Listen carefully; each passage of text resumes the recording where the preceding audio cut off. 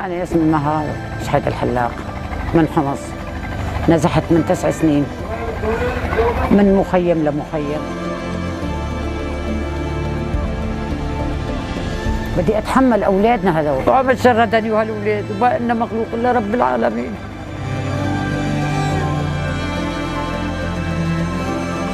لي عملية العملية طلبوا عليها 300 دولار وما لي قدرتها. بدي أطعمي هالأيتام ولا بدي أروح أسوي عيني والله بتغير كثير يعني بيعرف الواحد يعيش بيعرف يربي هالأولاد بيعرف ي... ما يحتاج حدا الأطفال يعني بدهم مراعاة بدهم إنه عايشي وجزاهم الله كل خير لكل منه بده يساعدنا ويساعد الأيتام.